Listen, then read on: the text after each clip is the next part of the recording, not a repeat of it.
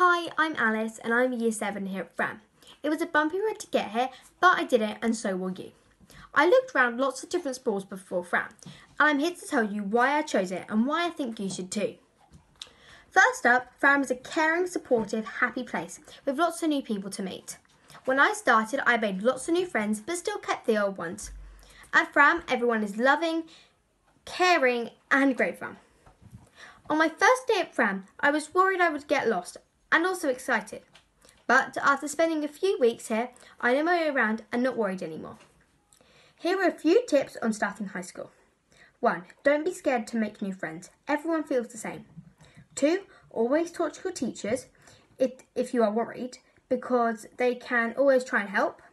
And lastly, have fun.